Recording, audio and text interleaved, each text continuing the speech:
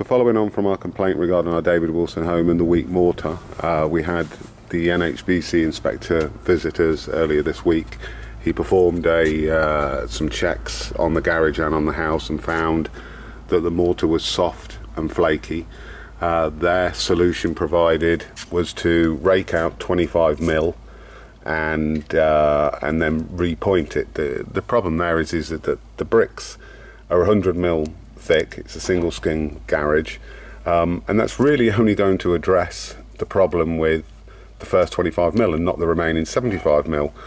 They couldn't uh, advise us what was causing the weak mortar. Uh, they weren't able to to say what it was. They said that it wasn't um, frost damage. Um, and so from further checks, you know, I can see that only the, the actual depth of, of where this weak mortar goes just continues on through way further than, than the 25 mil.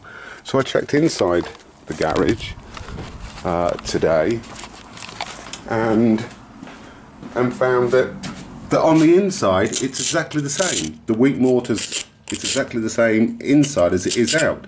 So the logic is is that the weak mortar, as they've already pointed out, it's soft and flaky and not up to their specifications, goes all the way through. It's not just a surface issue. So how is just raking out 25 mil of the outside going to resolve the issue? I don't, I don't really see how it's going to. So we uh, we asked them at the time if they were going to collect a sample of the mortar and have it tested to see if it's of the correct parts, to see if that was the issue because they weren't able to say why the uh, the mortar was weak, and they refused to. They, they they just didn't seem interested in trying to understand why the mortar was like it, it is.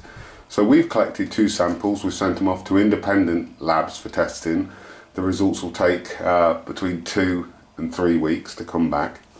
Uh, I've advised David Wilson, I advised the NHBC of this, and again, they, they just don't seem interested at all.